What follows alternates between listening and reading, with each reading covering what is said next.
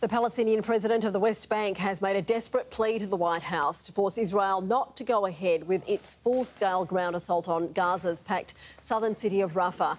President Mahmoud Abbas warns striking Rafah will make Palestinians there flee the Gaza Strip in what he says would be the biggest catastrophe in the history of its people.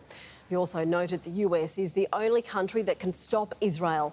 The White House has repeatedly told Israel not to invade Rafah over fears it will be a total bloodbath, while Israel has reiterated it will go ahead as planned. Everybody's interest in the region. Our interest, the interest of the Palestinians, the interest of the Israelis, the interest of the global community of nations, that we find a pathway to resolve this issue once and for all. Meanwhile, Israel has agreed to ramp up the amount of humanitarian aid going into the strip in the coming days, with new corridors set to open.